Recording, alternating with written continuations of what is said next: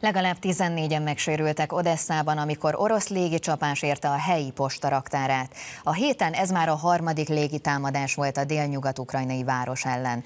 Az ukrán elnök közben arról beszélt, hogy hét biztonsági megállapodás előkészítésén dolgoznak, amelyek közül az egyiket Washingtonnal tervezik aláírni.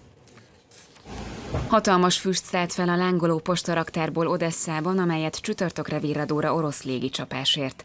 Az épület olyan hatalmas lánga légett, hogy a fényt és a füstöt kilométerekkel messzebbről is látni lehetett. A támadásban legalább 14-en megsérültek. A tűzoltóknak csak reggelre sikerült eloltaniuk a lángokat. Odessa a háború kezdete óta az orosz légierő gyakori célpontjának számít. A települést hétfőn és szerdán is bombázták. A támadásokban összesen 8 civil vesztette életét. Zolocsiv településen is rendkívüli pusztítást végzett a szerdai orosz légitámadás. Harkiv megye kormányzója közölte, hogy több bomba is becsapódott, amelyek miatt súlyosan megrongálódott egy banképülete, valamint számos közhivatal és több mint húsz jármű. Az egyik robbanó töltet egy olyan autót talált el, amelyben ketten ültek, mindketten életüket vesztették. Közben a moszkvai védelmi tárca arról számolt be, hogy az orosz csapatoknak négy front szakaszon is sikerült előre törniük. Donetsk körzetében pedig kilenc ellenrohamot vertek vissza. Szergej Sojgu orosz védelmi miniszter szerdán hangsúlyozta, az offenzíva ütemének fenntartásához növelni kell a fegyver és hadfelszerelés szállítást.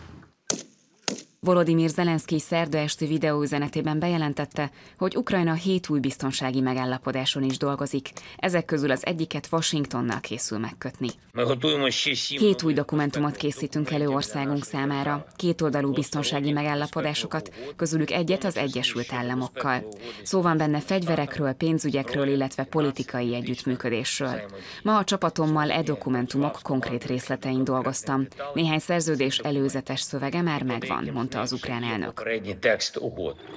Az államfő nem közölt további részleteket a szóban forgó megegyezésekről. Annyit azonban hozzátett, hogy Kiev készül a júniusi globális békecsúcs találkozóra, amelyet Svájcban tartanak majd. Moszkva már jelezte, hogy nem vesz részt a kétnapos programon.